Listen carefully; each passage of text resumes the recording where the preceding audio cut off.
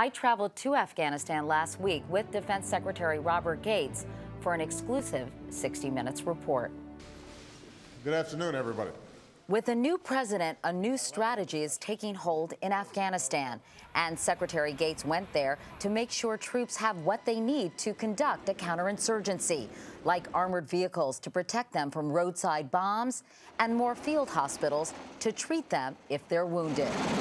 Most of the additional troops coming here to southern Afghanistan will be used very much like the surge troops were in Iraq.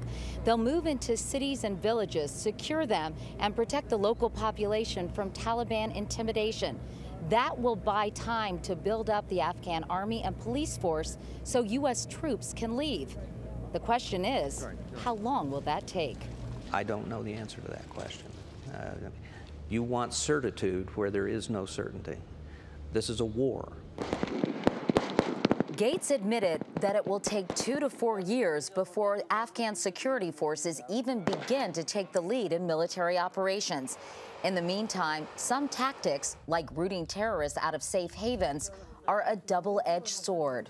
Missile strikes by unmanned drones along Pakistan's border with Afghanistan have infuriated the local population because they inevitably lead to civilian casualties. Given what they're costing in popular support, are these missile strikes really worth it? I'm not going to talk about any specific uh, military operations or activities uh, in which we may be engaged. I would just say we will go after Al Qaeda wherever in the world they are. In that other war, Iraq, 13 U.S. troops and 48 civilians have been killed already this month. American forces are scheduled to be out by 2011. What if everything goes to hell in a handbasket? Do you think that U.S. forces may have to be redeployed? I think it would be very difficult uh, for a president to redeploy significant U.S. forces to Iraq. So it wouldn't happen? I, I would be very surprised. Even though there is, there is a certain point in this process when the Iraqis have to take responsibility for their own future. Bob Gates began his career in government 43 years ago and has served eight presidents. He made it clear to me at his office in the Pentagon nice dish, he Mr. appreciates Secretary. the past. Uh, three antiques in the room, uh, four if you include me. Uh, the desk belonged to General John J. Pershing, Blackjack Pershing. The table behind the desk belonged to Ulysses S. Grant. Wow.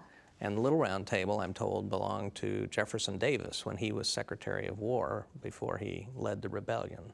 He may be a Washington insider, but thinks it's a city full of egos and hypocrites. But even if you don't like Washington, you like your job. But the truth of the matter is being Secretary of War in a time of war is a very painful thing. I mean, how can you like a job when you go to Walter Reed or Bethesda and you know you sent those young men and women uh, in harm's way. And I never forget that for a second. So no, I don't enjoy my job. You can watch the full report on my trip with Secretary Gates this Sunday on 60 Minutes.